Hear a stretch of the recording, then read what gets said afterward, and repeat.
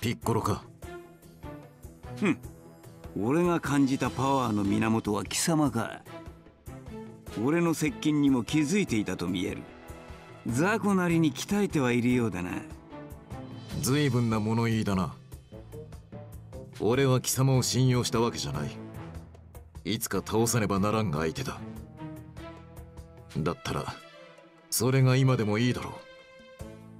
ほう貴様に俺が倒せるのか？俺は神様のもとで修行をした。そういうことか。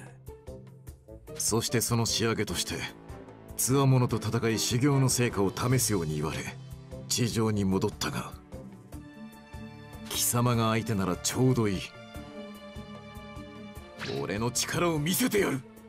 面白い。退屈していたところだ。相手をしてやろう貴様は天下一武道会で孫と戦っていたなそうだだがあの時の俺では孫の本気を引き出すことすらできなかった。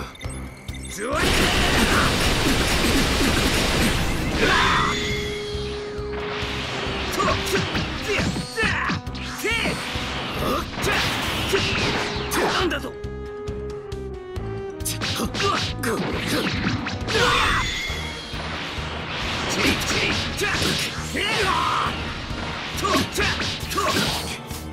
さすがピッコロ多少はやるようだなその程度かまだだ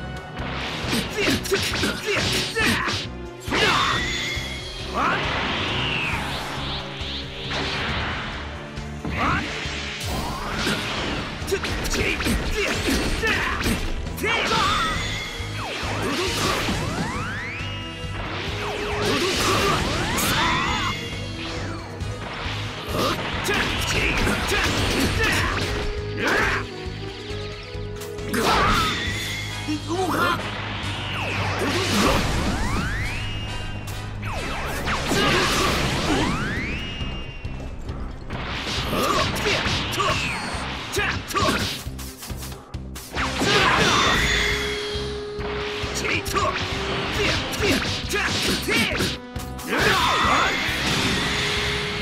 だ俺には足りないものがある。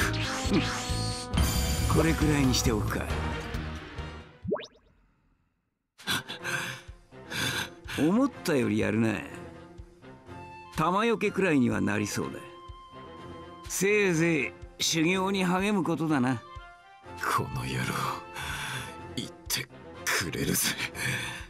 調子に乗っていられるのも今のうちだけだ。必ず貴様を倒してやるからな。ふんやってみろ